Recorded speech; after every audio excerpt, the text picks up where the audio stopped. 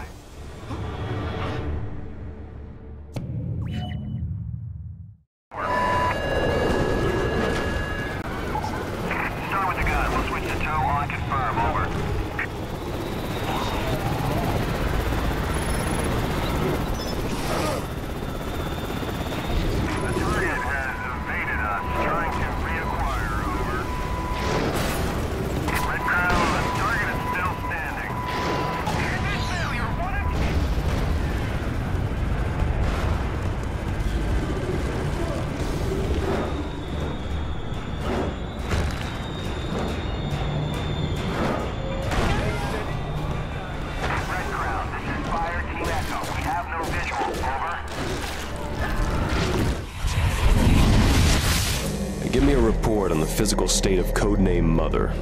The subject has been incarcerated for 39 years without ill effect. Through this period, it has exhibited no degenerative effects, no joint decay, swelling, discomfort, or atrophy. Nothing. It is quite literally unaging. We have no idea how this is possible.